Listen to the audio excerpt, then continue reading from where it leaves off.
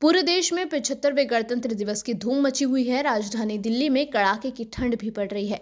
ऐसे में शुक्रवार को दिल्ली के विजय चौक से लाल किले तक परेड की जाएगी। लेकिन दिल्ली वालों को सिर्फ़ ठंड का ही नहीं, बल्कि एक और मुसीबत का सामना करना पड़ सकता है। मौसम विभाग ने 26 जनवरी को लेकर नया अपडेट जारी किया है।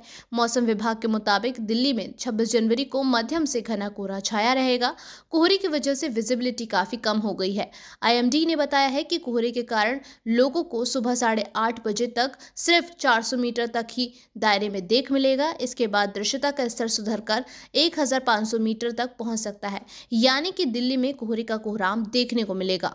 मौसम विभाग के मुताबिक दिल्ली में आज यानी शुक्रवार को न्यूनतम तापमान पाँच से सात डिग्री सेल्सियस के बीच बने रहने की संभावना है।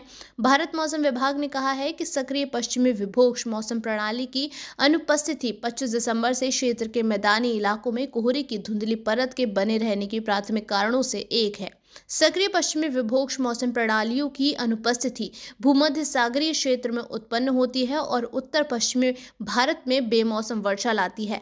आमतौर पर इन महीनों के दौरान पाँच से सात पश्चिमी विभोक्ष इस क्षेत्र को प्रभावित करते हैं। इसमें कहा गया है कि इस क्षेत्र में इस सर्दी में अब तक कोई मज़बूत पश्चिमी विभोक्ष नहीं देखा गया है, लेकिन अब तक दो पश्चिमी विभोक्ष ने देश को प्रभावित किया है, एक दिसंबर में और दूसरा जनवरी में। लेकिन उनका प्रभाव गुजरात, उत्तरी महाराष्ट्र, पूर्वी राजस्थान और मध्य प्रदेश तक ही सीमित रहा।